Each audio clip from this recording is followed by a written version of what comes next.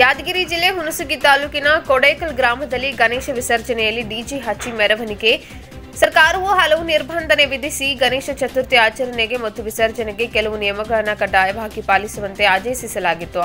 ಹಾಗೆ ನಿಯಮಗಳ ಪಾಲನೆ ಆಗುವಂತೆ ನೋಡಿಕೊಳ್ಳುವಂತೆ ಕಂದಾಯ ಮತ್ತು ಪೊಲೀಸ್ ಇಲಾಖೆಗೆ ಸೂಕ್ತ ನಿರ್ದೇಶನ ನೀಡಿತ್ತು. ಆದರೆ ಕೋಡೇಕಲ್ ಗ್ರಾಮದ ಗಣೇಶ ವಿಸರ್ಜನೆಯ ವೇಳೆಯಲ್ಲಿ ಡಿಜೆ ಹಚ್ಚಿ ಮೆರವಣಿಗೆ ಮಾಡುವ ಮೂಲಕ ಕೋವಿಡ್ ನಿಯಮಗಳನ್ನು ಪಾಲಿಸದೆ ವಿಸರ್ಜನೆ ಮಾಡಿರುವ ಘಟನೆ ಮಂಗಳವಾರ ಸಂಜೆ ಜರುಗಿದೆ.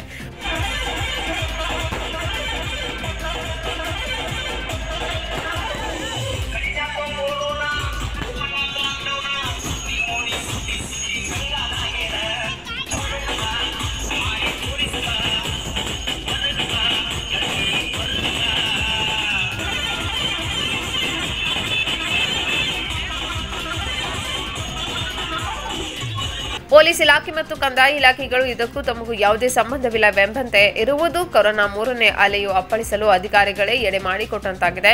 ಇಲಾಖೆಗಳ ಅಧಿಕಾರಿಗಳು ಯಾವುದೇ ಕ್ರಮ ಜರುಗಿಸದೇ ಇರುವುದು ಕ್ಷೇತ್ರದಲ್ಲಿ ಚರ್ಚೆಗೆ ಗ್ರಾಸವಾಗಿದೆ. ಪರಶುರಾಮ್ ಮಲ್ಲಿ ಭಾವಿ ಎಸ್ ನೈನ್ ಟಿವಿ, ಯಾದಗಿರಿ.